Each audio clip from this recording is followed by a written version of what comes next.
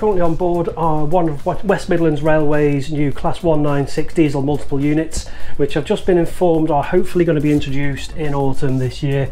There has been a bit of delay to the introduction of these units, and it's not clear how many have been accepted by uh, West Midlands Railway at the minute.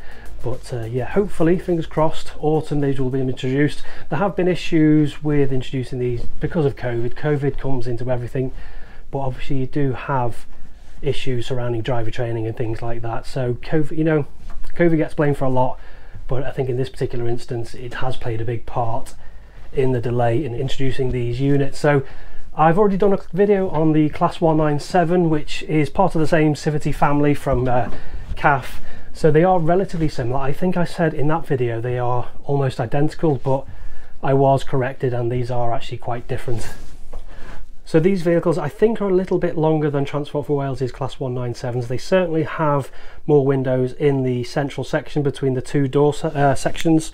So you've got that extra room there.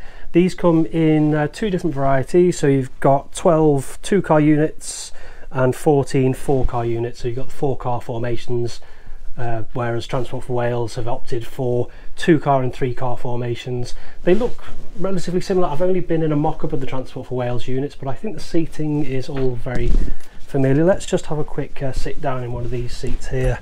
Let's, um, oh, they are quite firm. Let's just uh, press that padding there. It is, yeah, they quite upright and firm, but I don't know, they, um, yeah, are probably probably not as firm as a class 700 which is the benchmark for chair stiffness I think but um, yeah definitely definitely quite firm. But then again they might because people say they uh, the chairs might soften eventually. Can't see any charging points I don't think. Just having a little bit of a look round. Can't see any charging points uh, relax and recharge. There's a socket somewhere.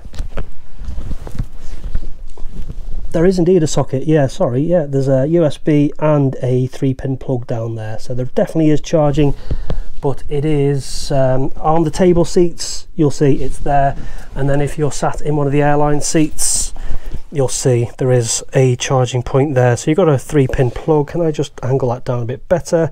And I think there is USB charging there. So yeah, there is charging facilities, which is kind of an essential thing these days. So this is one of their four car units. It's nice to be able to just walk down a train when it's quiet.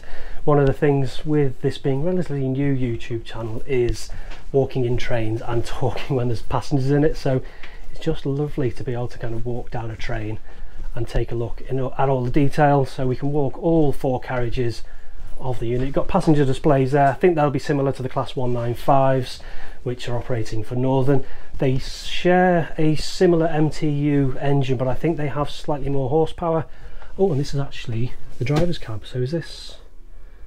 I can't remember how many carriages I've walked through, but we may as well take a look at the driver's cab while we're here, because that's what everyone wants to see. So yeah, I haven't seen this with the cab end doors, because the mock-up of the Transport for Wales unit had a panel. It looks like this, with all this gubbins here, technical stuff, technical word, is actually a door. That's really clever. So if I just kind of pop my head around here all standard control systems and stuff you've got a little bit of a window there and then cab end connector so you can go through to the next rail vehicle which is just through there. So we've got two coupled together. So am I yeah this I think this is a four car unit. I think I've walked through four carriages but it's coupled to another one just to confuse me.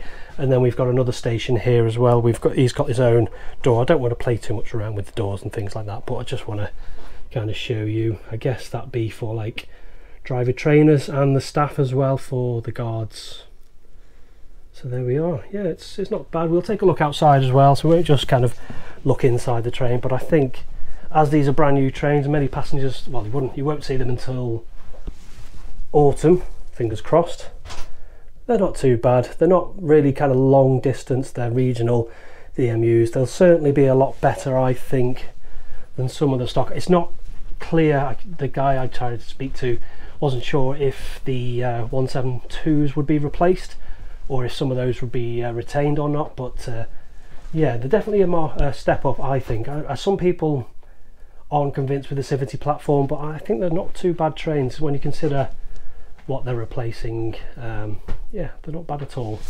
So just before the rain comes down, I thought I'd try and get a little bit of an outside shot of the Class 196 and its striking orange and purple livery. I'm still not 100% convinced on the on the colour scheme, but for a branding perspective, I guess it is it's striking. The purple's not too bad. It's just the uh, the orange. Obviously, the orange doors actually is you know it's all part of being uh, accessible and things like that. So the the colourful doors are needed. So, but yeah, you just obviously it's just a train. I don't know how far i can go up. I don't think i can go too far but much like the 197s and the 195s it's an engine per carriage. So um, you know if you've got a four car train it's got 2000 horsepower about. I think it's got a little bit more than 2000 horsepower because they're slightly more powerful than the class 197 but they're still kind of uh, 100 mile per hour capable units much like the 195 and the 197 other than the length and the formation there's not a huge difference between them. Obviously the interiors are a little bit different and things like that from operator to operator but yeah that's a, a, class 196 like i said before hopefully being introduced in uh, autumn this year